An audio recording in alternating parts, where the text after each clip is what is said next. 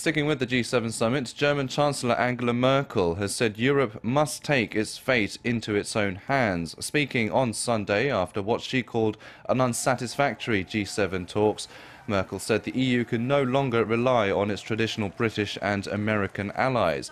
However, she did mention that Europe had to forge its own path forward in tandem with friendly relations with the UK, the US and even Russia.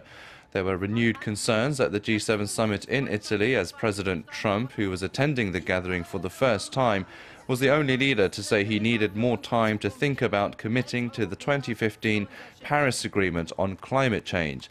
He was also coming fresh off a NATO summit in Brussels, where he lambasted allies for not paying enough for defence. At an election rally in Munich, Merkel described the results of the G7 talks as six against one, but didn't mention Trump by name.